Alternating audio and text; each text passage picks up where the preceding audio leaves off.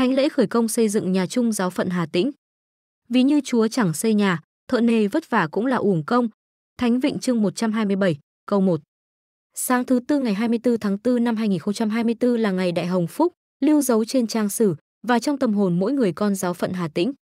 Ngày mà mọi thành phần dân Chúa trong và ngoài giáo phận hân hoan trong niềm vui tạ ơn Thiên Chúa cùng quy tụ và hướng lòng về khuôn viên đất nhà chung để hiệp thông trong nghi thức làm phép và thánh lễ khởi công xây dựng nhà chung giáo phận. Niềm vui và lời tạ ơn hôm nay được nhân lên gấp bội khi giáo phận hân hạnh được đón tiếp sự hiện diện và hiệp thông đầy yêu thương của quý đức tổng, quý đức cha, quý cha trong và ngoài giáo phận, quý khách xa gần, quý tu sĩ, chủng sinh, quý đại diện các cấp chính quyền và rất đông các tín hữu đến từ 130 giáo sứ trong giáo phận. Đây là dấu chỉ cho thấy tinh thần hiệp hành, hiệp thông, tham gia trong giáo hội. Hà Tĩnh là giáo phận non trẻ nhất trong số 27 giáo phận của giáo hội Việt Nam. Với chỉ hơn 5 năm được khai sinh từ giáo phận Vinh, giáo phận Hà Tĩnh còn chập chững tiến những bước đầu đời, trên đôi chân còn non yếu. Ước mơ có được một ngôi nhà chung là nỗi ưu tư, thao thức và chăn trở của bề trên giáo phận và của mọi thành phần dân chúa. Sau bao nỗ lực và cố gắng, ước mơ ấy đã có thể thực hiện khi giáo phận có được phần diện tích đất để xây dựng. Ngày Đại Hồng Phúc hôm nay được bắt đầu với nghi thức làm phép khuôn viên đất xây dựng. Cha trưởng ấn, Phê Dô Nguyễn Đoài long trọng công bố quyết định xây dựng nhà chung. Sau đó, cha tổng đại diện gia cô B Nguyễn Khắc Bá hân hoan đón nhận quyết định từ đức cha Louis, chủ chăn giáo phận.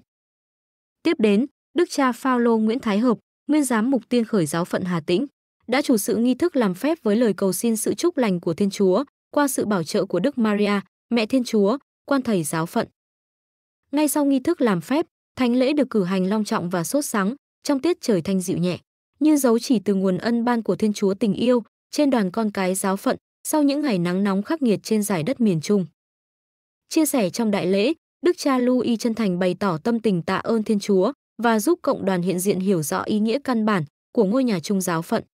Ngài ca ngợi vai trò của Đức Maria với đặc ân mẹ Thiên Chúa.